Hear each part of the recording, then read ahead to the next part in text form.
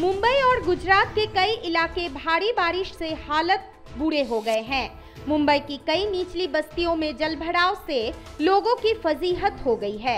इसी बीच मौसम विभाग ने आज यानी कि सोमवार को मुंबई और ठाणे में भारी बारिश का ऑरेंज अलर्ट जारी किया है। वहीं रायगढ़, रत्नागिरी, पुणे, सतारा में भारी बारिश की चेतावनी देते हुए रेड अलर्ट जारी किया गया है।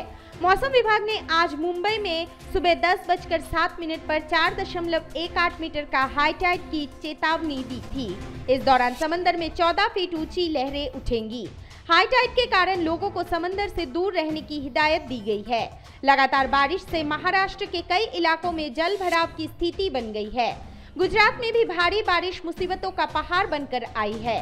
राज्य के कई जिलों में अगले पाँच दिनों तक भारी बारिश की संभावना है।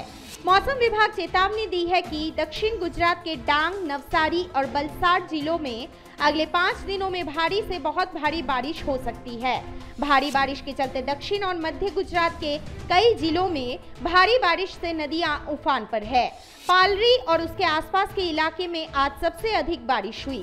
यहाँ गुजरात कॉलेज के पास स्थित अंडर पास में दो बसें फंस गई। ड्राइवर्स को फायर ब्रिगेड के जवानों ने बाहर निकाला। पूर्वी अहमदाबाद के भी कुछ इलाकों में पानी भर गया। भारी बारिश की आशंका के चलते अहमदाबाद शहर के स्कूल और कॉलेजों को कल बंद रखने का आदेश दिया गया। पश्चिमी अहमदाबाद के प्रहलाद नगर और पालरी इलाकों में भारी बारिश से जल भराव की स्थिति है। News desk report, Assam Aditya.